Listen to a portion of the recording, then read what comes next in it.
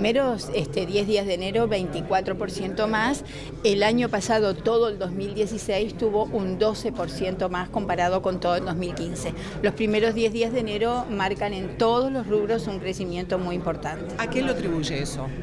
Bueno, yo hoy decía, hay un conjunto de cosas que Uruguay está ofreciendo, tiene que ver con la devolución del IVA a todas las compras turísticas, tiene que ver con el tax free, tiene que ver con un dólar que se ha ido apreciando, tiene que ver con una inflación que está más controlada que en otros países de la región, es, un, es multifactorial. ¿Este incremento puede significar que puede ser una de las mejores temporadas de los últimos tiempos? Bueno, vamos a, esperar a, a, culminar, a que termine la Semana de Turismo, que es donde nosotros analizamos ese primer trimestre o cuatrimestre, pero todo parece indicar de que si no es la mejor va a ser una de las mejores. Entra más gente y gastan menos per cápita. Hay más gasto porque el número fue extraordinariamente bueno.